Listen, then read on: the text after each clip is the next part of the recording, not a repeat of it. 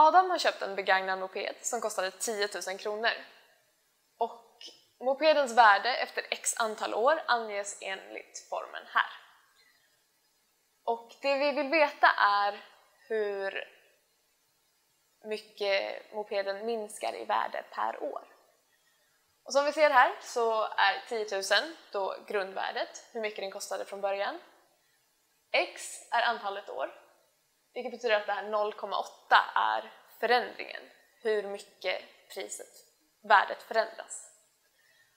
Och om vi gör om 0,8 till procent så har vi eh, 0,8 eh, är samma sak som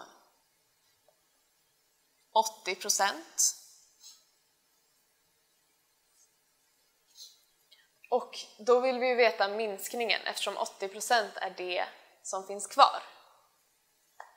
Och eh, 100%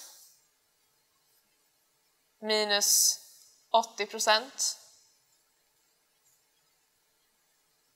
är lika med 20% Vilket är den minskning som sker varje år. Alltså är svaret 20%